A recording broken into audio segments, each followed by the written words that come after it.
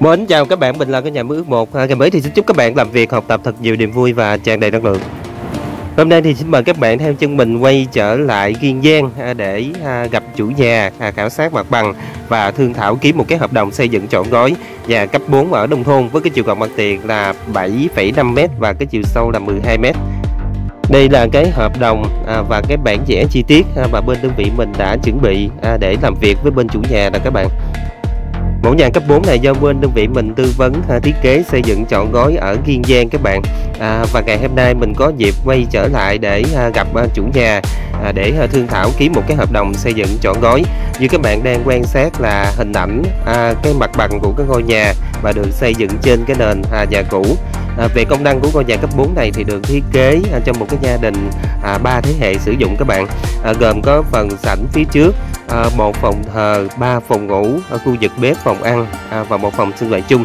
Có thể nói là cái công năng của bên trong là nó rất là rộng rãi và đầy đủ. À, và đây là mẫu nhà giả mái thái.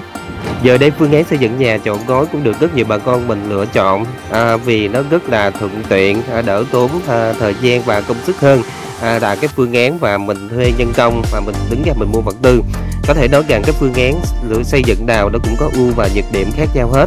À, tuy nhiên lựa chọn một cái phương án nào à, để nó có mang nhiều ưu điểm à, mà nó mang tính chất khả thi nhất. Vì sao cái phương án xây dựng nhà chọn gói được nhiều bà con mình lựa chọn? À, vì với bên đơn vị mình thực hiện á, thì nó rất là rõ ràng từng cái chi tiết ở bên trong.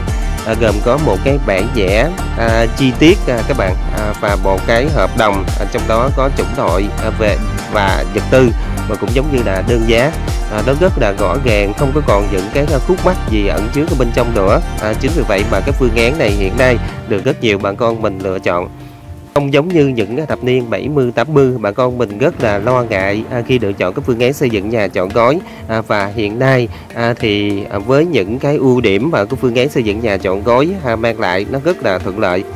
Nhà giả mái thái này à, được rất nhiều bà con mình lựa chọn xây dựng thay vì nó rất là phù hợp xây dựng ở vùng ven nông thôn với những cái gia chủ mà cái độ tuổi từ U60 trở lên thì lựa chọn cái mẫu nhà. Dạ, giả mái thái này à, xây dựng rất là hợp lý à, và nó không có bị lỗi thời các bạn.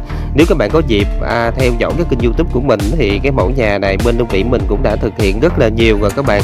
À, và ở à, Đồng Tháp thì cũng đã xây dựng rồi à, và tương lai thì cái mẫu nhà này mình sẽ xây dựng ở Kiên Giang à, và Mỏ cài Bến Tre. Và các bạn hãy chờ xem bên đơn vị mình thực hiện cái mẫu nhà này à, trông như thế nào thì mình sẽ thực hiện một cái video chi tiết khi mẫu nhà này xây dựng xong gửi đến mọi người tham khảo.